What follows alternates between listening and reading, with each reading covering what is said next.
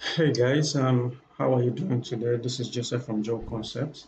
So today I want to quickly talk about um, depth of field in Cinema 4D without making use of physical render. Uh, so sometimes you might be thinking um, that the depth of field in physical render takes longer time to render.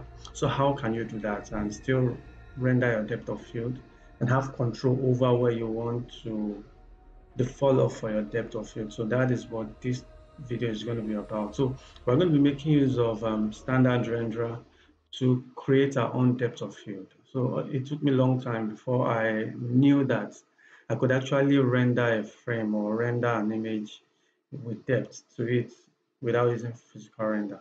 So all I knew then was here, making use of physical render, then I'll have to activate the depth of field. But no, I can actually render my depth of field without using physical render. So now this is what I have. So I'm going to be fast with this. These are the things you really need. So this is what I have. I have my camera, which I've created. I have the sky object and three lights. So this is more like the ambient light.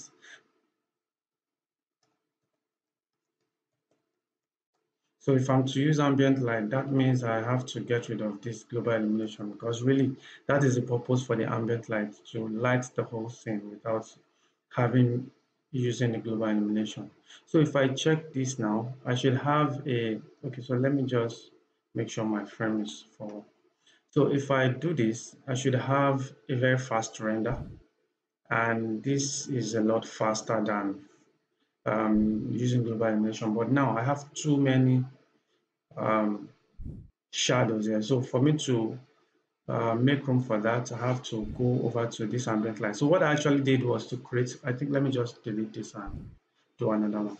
So if I render, I have this scene as compared to this. So you see that they look close. The difference is that, see this one has, this is a lot darker and this one is less darker if you look at this. So what, how can I simulate ambience, more like global illumination with this light? And this is what I'm going to do. I'm going to create an Omni light. All I just need to do is come here onto this ambient illumination, activate that. So I'm going to have this ambient illumination. So what I can just do is just to give a little bit of tint to it. So if I render this now, I should have more like global illumination feel and this is a lot faster. So if you feel that this is too much all you need to do is just reduce um, this value here. So if I bring this to somewhat 80 and do another one that's how you are going to tweak this until you get feel of that ambient uh, global illumination so I think this is fine and if you look at the time just six seconds for me to get that so I just feel that as a bonus, but that is not the purpose of this tutorial. So I'm ending this here. So let's look at setting uh, depth of field, making use of standard renderer. So how we are going to do that is to go over to this camera. So I'm going to go out of this camera in a bit, just scroll up. Notice where the camera is here. So the first thing I want to do is, you know, if you are using physical render, you have to set where you want your focus to be. So let's assume I want my focus to be on this um, instance object here. So what I'm going to do is I'm going to drag this focus distance till I am on that object. All right. So I think this is fine here. All right. So that is pretty much everything you need to do when you are using your physical render. Then you will now come here over to um, physical and start changing your f-stop for you to get that effect. But if you are using standard renderer, that means you are making you are not making use of any setting under physical. This only works for physical renderer. So because I'm going to be making use of my standard renderer, I need to set my focus and that can be done under your detail. So if you go to your detail, these are the things DOF, map, front blur and that. So DOF means depth of field, map for front blur. So the front, if I activate this, it, it activates the one in front. What it means now is blurriness closest to the camera, in front of the camera. So which is in front of your focus distance. So your focus distance, this is your focus distance, and this is the front, which is closest to the camera. So if you look at this, we have a value of 1000. So you can change this here. So what this really means is that, okay, so let me just explain what these values are. So you have your start and you have your end. Your start is counting from your focus distance and the end is the distance from your focus distance. So the start is zero. So that means we have zero and going all the way to this value, which is 272 thereabouts. So let's just make this round value to 70. So what does this mean? This is what it means that it should blur any object from zero and as it goes, the blur should increase. So that means my blurriness will be taken, the sampling for my blurriness will be taken from this focus object or focus distance. And as the distance increases, the more the blurriness increases the more.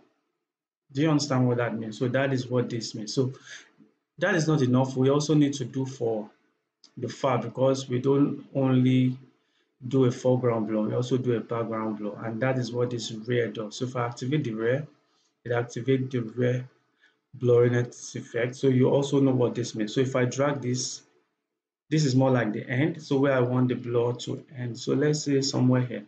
So what this also means that from zero, zero means the starting point from this focus distance. So it gradually blurs it till this point. All right. All right. Hope you understand that. So that is fine. So let's say up to this guy here. Then this is pretty much everything you need to activate here. So the next thing is just go into your camera and render. So if I render now, let's see what we have. Now, for some reason, let me stop this. For some reason, if you try to render this here in your viewport, you will not see the blur effects.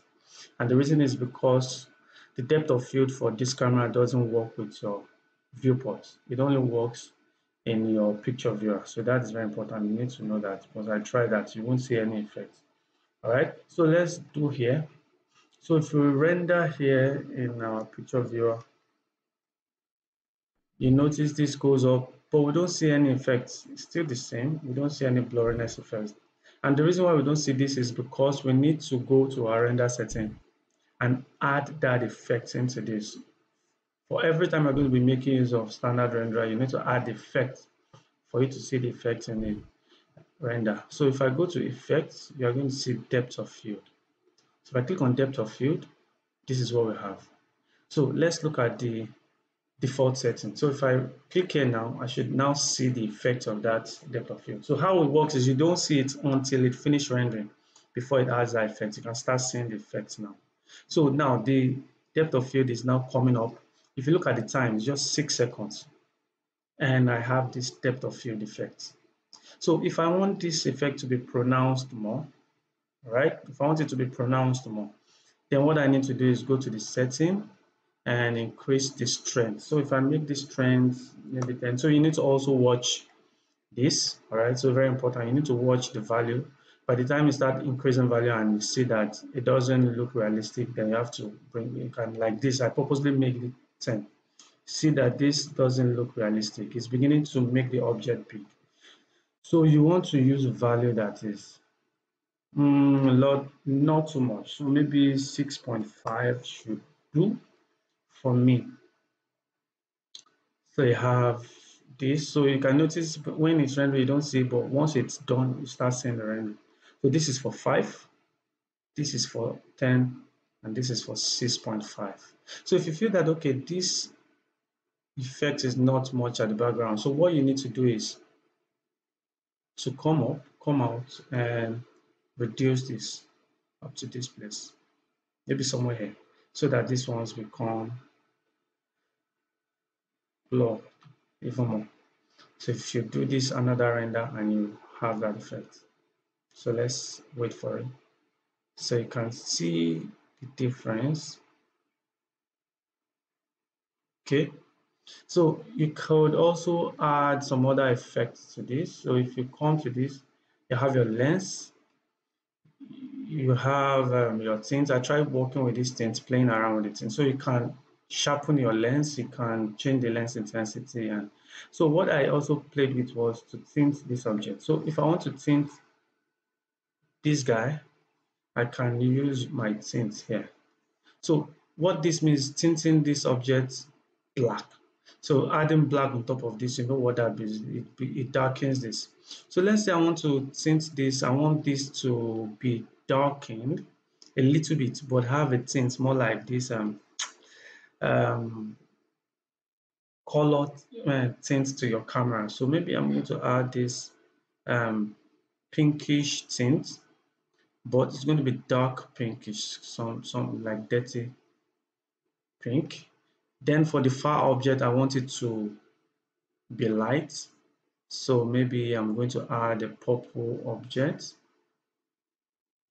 but a lighter feel of purple so if I render this now what I'm going to get is that this part is going to be dark while as it goes here it's going to be lighter. So you see the effect. So that is what the tint does. So you can use that to stylize your render and have a very good render. So I if you feel this was helpful I think I'm done with this. That's just how to set you can just check other settings and play around. So if you feel this was helpful please do give me a thumbs up and like the video share with your friends you don't know who might need this and if you haven't already subscribed to my channel please do subscribe because I do tutorials like this every time so please once more I want you to do something and hit me up on my social media and tell me what you've been able to do. I, I really appreciate that. So do have a wonderful day and God bless you. Bye.